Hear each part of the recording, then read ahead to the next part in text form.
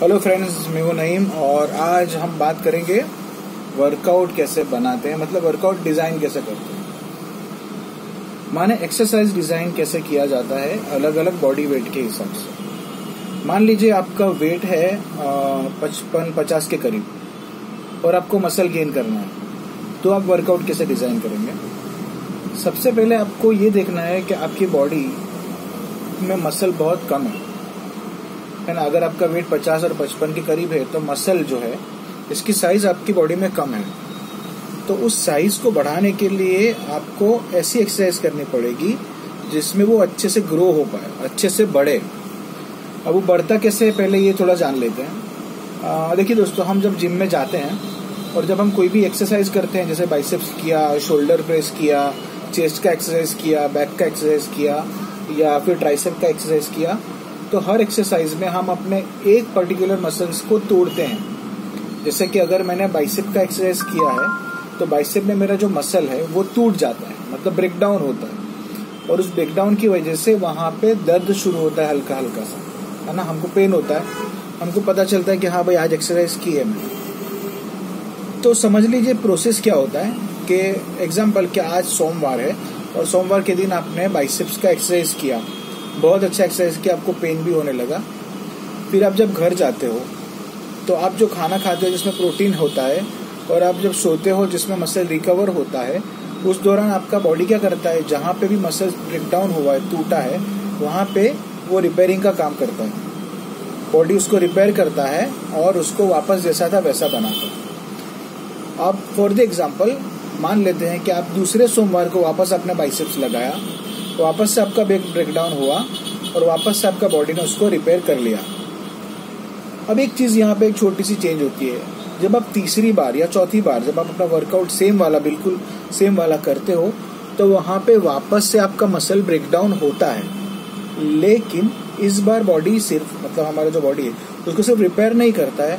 उसको वो रिपेयर करने के साथ साथ वहाँ पे कुछ एक्स्ट्रा फाइबर्स भी बनाता है, जिसको हम हमारी लैंग्वेज में हाइपोट्रोफी बोलते हैं। और एकदम देसी लैंग्वेज में बोलेंगे कि मसल बड़ा है मसल नया बना है। ठीक है? तो ऐसे मसल बढ़ता है जिसको हाइपोट्रोफी बोलते हैं। तो हमको ऐसी एक्सरसाइज करनी है कि जिससे हमारा मसल बढ़े। अब इसका एक बहुत सिंपल सा फॉर्मूला है कि अगर आपके बड़े मसल्स हैं, जैसे आपका चेस्ट है शोल्डर है सॉरी चेस्ट है बैक है लेग्स है, ये आपके बड़े मसल है। तो शोल्डर है बाइसेप ट्राइसेप्स ट्रेपेजियस काफ़ी आपके छोटे मसल्स हैं। तो जो बड़े मसल्स हैं उनमें हमको ज़्यादा हैवी वेट उठाना है। मान लीजिए अगर आप चेस्ट की एक्सरसाइज करते हो तो चेस्ट के अंदर आप पाँच किलो, सात किलो वेट नहीं उठाओगे। हो सकता है आप इनिशियल स्टेज पे लाइट वेट रखो, लेकिन आपको बाद में उसको बढ़ाते जाना है। तो आपका वर्कआउट कैसा रहेगा? फॉर द एग्ज़ाम्पल अगर आप चेस्ट ले रहे हो तो चेस्ट की आप पाँच एक्सरसाइज करेंगे और पाँचों पाँच एक्सरसाइज के आप तीन से, तीन सेट लगाएँगे।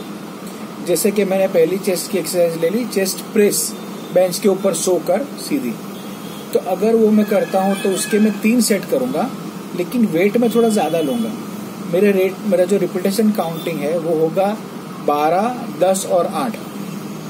ठीक है? उसके बाद मैं जाऊँगा इंक्लाइन बेंच प्रेस के ऊपर जहाँ पे अगेन मैं डम्बेल या आ, आ, मेरा बारबेल से मैं चेस्ट प्रेस करूँगा फॉर माई अपर चेस्ट तो अगेन मेरा रेशियो रहेगा रिपीटेशन वाला दस, दूसरे सेट में पहले सेट में बारह, दूसरे सेट में दस और तीसरे सेट में मैं आठ रिपीटेशन ही लगाऊँगा। उसके बाद में और कोई हो सकता है डिक्लाइन बेंच प्रेस के ऊपर जाऊँ और डिक्लाइन में मैं अगेन बेंच प्रेस करता हूँ तो वहाँ पे मैं वापस से फॉर्मुलेशन लाऊँगा। बारह रिपीटेशन दस रिपीटेशन और आठ रिपीटेशन फाइन अब मैं जाऊँगा केबल क्रॉस ओवर पे, जो मेरा आइसोलेशन मूवमेंट है। ठीक है? पावर मूवमेंट नहीं आइसोलेशन मूवमेंट है।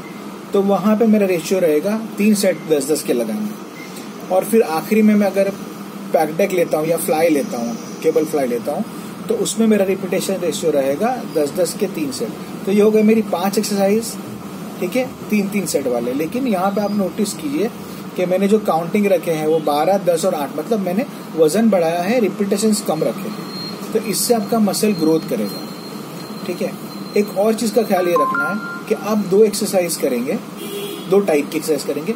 एक होगा कंपाउंड मूवमेंट कंपाउंड मूवमेंट मतलब जिसमें आप एक से ज़्यादा मसल को यूज़ करोगे। जैसे कि अगर मैंने प्रेस कर रहा हूँ, किसी भी तरीके का, चाहे मशीन पे प्रेस करूँ, मैं मेरा चेस्ट की एक्सरसाइज में चेस्ट शोल्डर का अगला भाग, जिसको इंटीरियर डेड्रॉइड बोलते हैं, और ये जो ट्राइसेप्स है, इन तीन चीज़ों को मैं इस्तेमाल करता हूँ। तो ये हो गया मेरा कंपाउंड मूवमेंट और जब मैं फ्लाई करूँगा तो मैं मेरे दो ही मसल को यूज़ कर रहा हूँ। एक मेरा चेस्ट है, ठीक है अपर और माइनर जैसे कि उसको हम बोलेंगे पेक्टोरलिस मेजर और पेक्टोरलिस माइनर तो सिर्फ़ मेरे यही मसल यूज़ करेंगे, इसलिए मेरा आइसोलेट मूवमेंट है।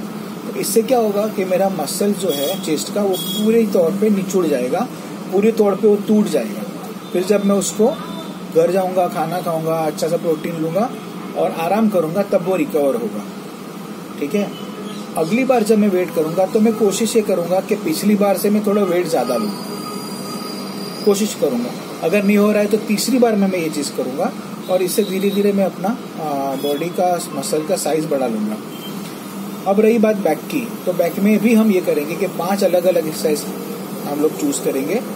बेंट ओवर रोइंग ले लेंगे डम्बेल रोइंग ले लेंगे फिर वो लैट पुल डाउन जो ऊपर से हम नीचे की तरफ़ करते हैं लैट पुल डाउन ले लेंगे हम लोग। रोइंग जो है केबल रोइंग करेंगे। ठीक है? सिंगल आर्म से केबल रोइंग कर सकते हैं हम। तो ऐसी वेरिएशन हम लोग जो है बैक के अंदर भी पाँच एक्सरसाइज लेंगे। रिपीटेशन रेशियो बारह, दस और आठ, ठीक है? डिपेंड करेगा आपके ऊपर। और ये रिपीटेशन वैल्यू के अंदर हम अपना एक्सरसाइज को खत्म करेंगे। ऐसे ही लेग के अंदर भी हम पाँच अलग अलग एक्सरसाइज करेंगे और तीन तीन सेट करेंगे।